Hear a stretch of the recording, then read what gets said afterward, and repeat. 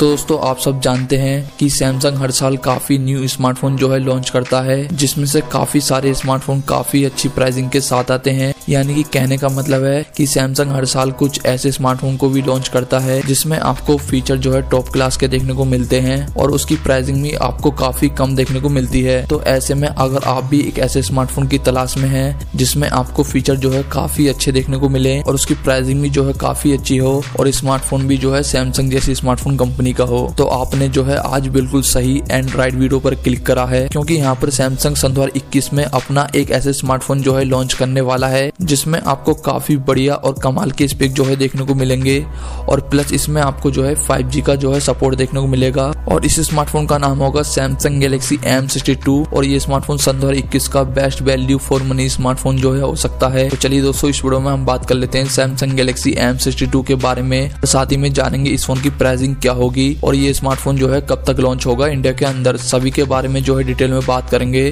तो चलिए दोस्तों, इस वीडियो को बिना किसी देरी के शुरू कर लेते हैं। तो गाइज़ सबसे पहले बात कर लेते हैं इसके डिस्प्ले के बारे में।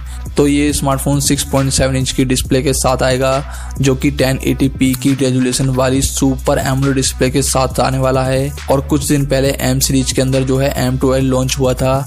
और उसमें हमें 90 हर्ट्स वाली डिस्प्ले जो है देखने को मिली थी। तो यहाँ पर आपको एक बात तो क्लियर हो जाती है कि एम सीरीज़ के जितने भी स्मार्टफ़ोन आने वाले हैं, सभी में आपको हाई रिफ्रेश रेट वाली डिस्प्ले देखने को मिलेगी।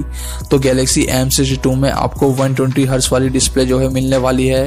तो यहाँ पर आपको काफ़ी अच्छी बात हो जाती है, क्योंकि यहाँ पे आपको सुपर एमो डिस्प्ले देखने को मिलती है। जिसमें आपको वन ट्वेंटी हर्ट्स का हाई रिफ्रेश जो है मिलने वाला है। तो आपको इसका डिस्प्ले को लेकर एक्सपीरियंस काफ़ी अच्छा रहने वाला है। बात करते हैं दोस्तों इस फ़ोन के प्रोसेसर के बारे में। तो इस फ़ोन में आपको लीक्स का कोडिंग जो है स्नैपड्रैगन 750G का जो है प्रोसेसर मिलने वाला है, जो कि दोस्तों एक 5G प्रोसेसर है। तो यहाँ पर आपको गेम वगैरह खेलने में कोई भी दिक्कत देखने को नहीं मिलने वाली है, क्योंकि यहाँ पे आपको काफ़ी तगड़ा प्रोसेसर देखने को मिल जाता है। बात करते हैं दोस्तों इस फ़ोन के रैम और स्टोरेज के बारे में। तो यहाँ पर आपको दो रैम मिलने वाले हैं six one twenty eight G B eight two fifty six G B बात करते हैं दोस्तों इस फ़ोन के कैमरास के बारे में। तो कैमरा आपको same to same A fifty two जैसे मिलने वाला है। इस फ़ोन के अंदर आपको क्वाड रियर कैमरा जो है देखने को मिलेगा, जिसका प्राइमरी सेंसर आपको सिक्सटी फोर मेगा पिक्सल देखने को मिलने वाला है। ट्वेल्व मेगा पिक्सल का ultra angle lens five megapixel का माइक्रो सेंसर और फाइव मेगा पिक्सल का डेप सेंसर जो है देखने को मिल जाता है। बात करते हैं दोस्तों इस फ़ोन के फ्रंट कैमरे के बारे में। तो फ्रंट में आपको पंच होल के अंदर जो है थर्टी टू मेगा पिक्सल का सेल्फी कैमरा मिलने वाला है। तो कैमरा भी इस फ़ोन में आपको ठीक ठाक जो है देखने को मिल जाता है। बात करते हैं दोस्तों इस फ़ोन के बैटरी के बारे में।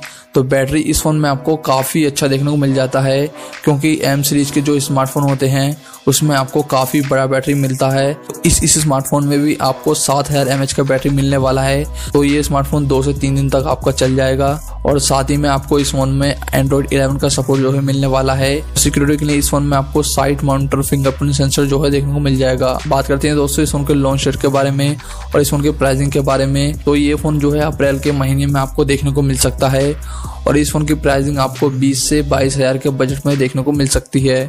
अगर ये स्मार्टफ़ोन इस प्राइसिंग के साथ आता है तो ये स्मार्टफ़ोन मेरे हिसाब से काफ़ी अच्छा स्मार्टफ़ोन हो सकता है।